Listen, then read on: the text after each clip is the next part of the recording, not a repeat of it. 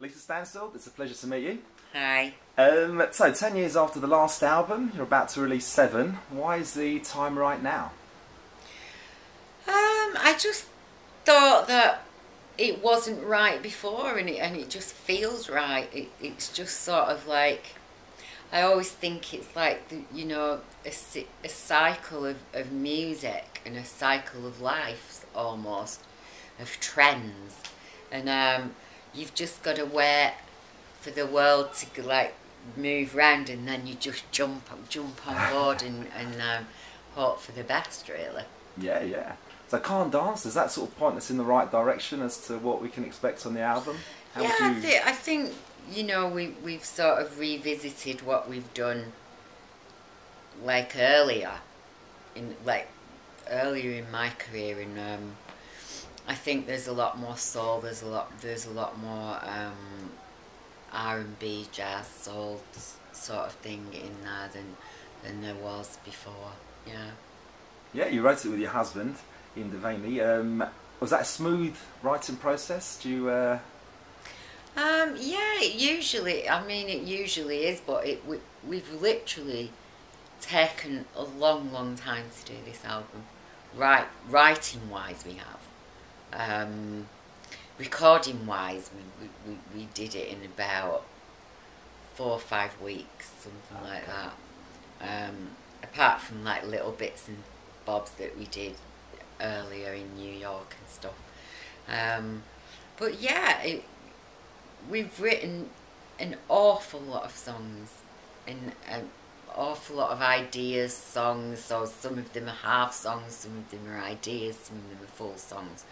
But we wrote, we probably wrote about sixty odd songs Jeez. for this, and um, so it it took quite a long time to whittle it all down and set because you you always have a soft spot for everything Yeah, that you yeah. do. And it's like, oh, but that's really good. No, but that's really good. And it's like, oh, come on then, let's like, it's sort of like flip a coin and see and see which one. But um, I suppose when you flip the coin, you know which one it is anyway, don't you? But, you know, double album?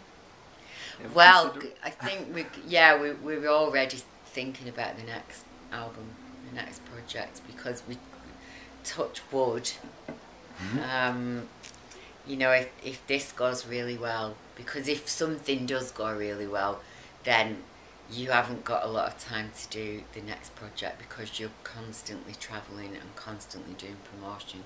Mhm. So we, we, we want to do as much as we possibly can um, before hopefully all that starts. Yeah. And in the album, I mean, is it just a collection of songs, or is there some sort of message that, that you're imparting? Um, it's sort of it's sort of a story about one woman who, you know, she finds love and and it doesn't it doesn't work out the way she wanted it to work out, and um, and it's all about her journey, her emotional journey throughout that, and then eventually finding love again and, and learning to learning to love and learning to trust again as well. Good. Um, you've been touring a lot this year, sort of around Europe and that. Is it always as enjoyable as uh, as it ever was? Is it becoming a different I'm, experience? I'm enjoying it loads more. I enjoy it loads more than, than I used to do. Um, because I, th- I think now that that I've, I'm a bit more mature and, and, and I've seen a lot of things and I've had a, I've had a big step away from it and have been allowed to be sort of a good I, I think it sounds weird but like a normal person you know? Um, I, I think it, I, I've gained an incredible amount of confidence not singing wise but just in, in the other aspects of my life just and um standing on a stage now I used to be really frightened to talk to the audience.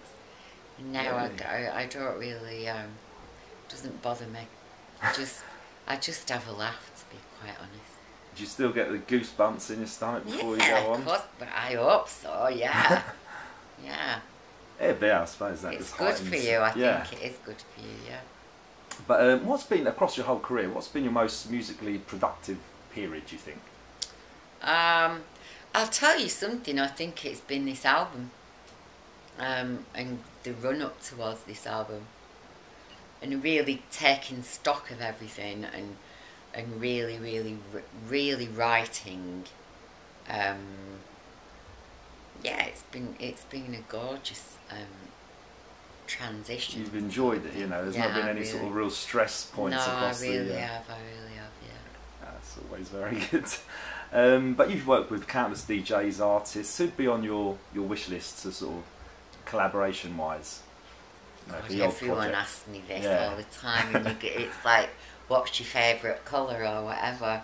Uh-huh. Um, God, there, there, there are a lot of people that I'd love to work with, but it's, you know, with me, I, I always, and I, I never sort of think about things like that. It's always what's suggested to me, and then if it's a good suggestion, then it is, and if it isn't, then it isn't, you know. Yeah, it doesn't, doesn't come to be. Um, but since making your acting debut in Swing 1999, you've uh, mustered up quite a few acting credits and uh, starring in a new film Northern Soul with Steve Coogan, Ricky Tomlinson. What's what's that all about, Lily, and, and how did it come Um, about? Well, it's it's the story of a, a, a young guy who is a bit of a wallflower and he's a, like a schoolboy. He's, he's in the last year of school and um and he's he's a bit of a wallflower and he hangs out with his granddad all the time and he makes Airfix models and his mum gets really really worried about him and I play his mum and um and she encourages him to go to the youth club. And she says, "Why don't you go to that youth club like your cousin?" No, and um, and so he goes, and he gets involved with like the weirdest things. Like he gets involved with drugs, like northern soul music. He gets addicted to speed, all sorts of things, and it's like his mum is so uptight, and she wants him to be this like worldly wise fella, and and, and she sort of sees the demise of it all.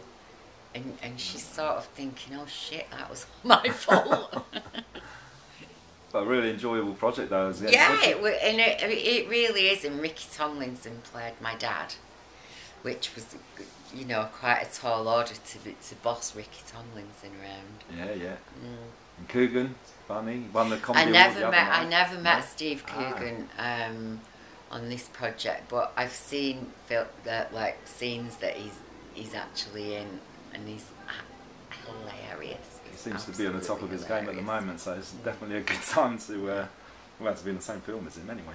Any other acting projects that you can tell us about in the pipeline? Um, no, I just I just sort of wait until the phone rings and and then see what see what's in the offing. Really, I, t- I say no to more things than I say yes to, which I do musically anyway. Mm. I'm I'm a bit like that. That's why you never hardly see me. no, but you seem to have done a lot of filming stuff in the last sort of ten years. Obviously, yeah, I've, I've taken a done quite a bit, but I really enjoy it. But I I don't want to, you know, I don't want to add a second string to my bow, and it be and it end up being a chore. Yeah, yeah, Because yeah. my music's never been like that, um, and I think people can tell when when you're not at one with something, you know. Because I, get- I hate cheating people. It's not nice because people aren't stupid. Yeah, no, no, definitely. You've got to Mm. be 100% heart and soul, I suppose.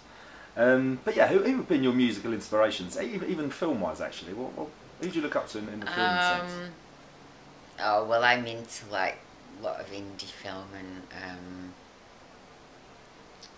I don't know. I mean, I mean, musically, the list is completely endless, isn't it?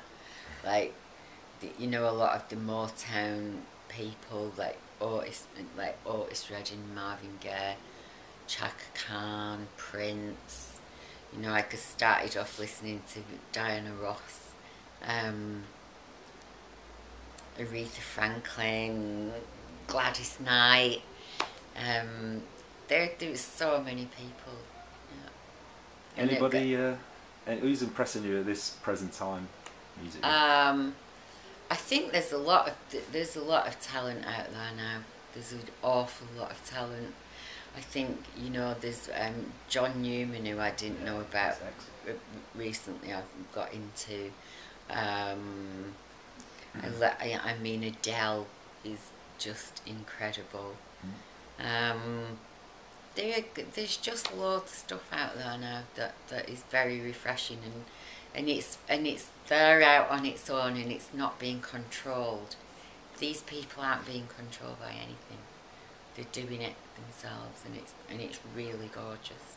Yeah, I mean, throughout your, your career itself, you must have seen a lot of changes in, in the music industry. How, Mm. What sort of state is it in now? How healthy do you think the, the industry is right now? I think it's getting more healthy now, because I think I think I think corporate music um, basically shat itself. You know when all this internet thing Yeah, yeah. came into the fore, and um, and it's to be embraced. It's not to be repelled, and um, I think it's it's a massive threat to to corporate business because corporate business a lot of the time doesn't think like that. Um, and it and it's something to be like not to be afraid of at all even though people are like um, stealing music, they've always stolen music. People will always steal films. They'll always steal music. It's just like it'll even itself out. It's all fine to me. Yeah, I think it is. That's the point we're at now. It's looking good. But yeah, what's in store for Lisa Stansfield in 2014 then? God, more of this, I hope. You know, um, more touring, more promotion, and just working this album. And hopefully it'll last the whole year, and and we'll and we'll um, we'll crack it. And the new project that you sort of just alluded to, is that, has that got a working title for any of that? What the next new- one? The next one, I know, No, well maybe ahead. we'll just call it eight. Fair enough. But thanks a lot for your time. It's been a pleasure. Thank you. But if you had to pick three tracks your own tracks uh, would sum you up as a, as a, as a as an artist, as it were, what three would you pick? Oh, whatever. Mm. Um, oh my god, there's a lot of tracks. Um, I really don't know. I mean, I've got to say all around the world because that's the, the track that yeah, yeah, that is like, if you say my name, then everyone thinks of that track, and I and I have to love it because it comes from me. Yeah, yeah. Well, it's, It's like song. it's like kicking your own baby, is it? If you don't like it. Been around the world and I want to kick my baby. Doesn't have the same ring to it, really, does it? Not quite. Um, what else? I suppose. Um, I suppose from the new album, I suppose Love Can. Um, because it because it's sort of classic what I do. Um, there's a, there's a lot more diverse stuff on there, but it's still me. But but Love Can is like that. Um, what else? Um, I suppose Big Thing because Big Thing was was loads of people may not know what song Big Thing is, but it was a B side, which doesn't exist anymore either. God, I sound like a granny. Give me my glasses.